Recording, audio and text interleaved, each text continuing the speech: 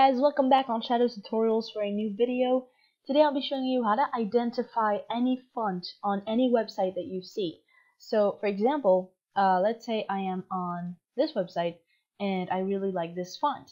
So there are some websites where you can take a screenshot and post it to the website and then it identifies the letters and all that, but it's kind of confusing and most of the time it doesn't actually find the real font. So there's this tool called Fount and all you have to do is go to this link, the link will be down below, and take this where it says Fount and just drag it to your bookmarks. I'm just going to drag it here. And then go to the website uh, where the font that you like is, and you're going to click on Fount once, and then you get this kind of uh, cross as a cursor, and go over here and select the text. Select any part of the text, and as you can see here, it tells you the font, the size, the weight, and the style. And that is how you know a font.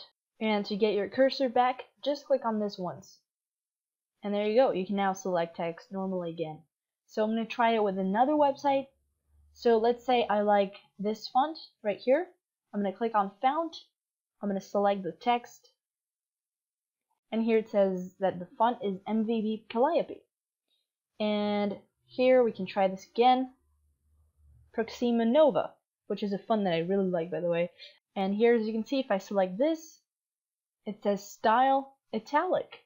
So there you go. This is how you can identify any font, even those that you usually have to pay for, such as Proxima Nova.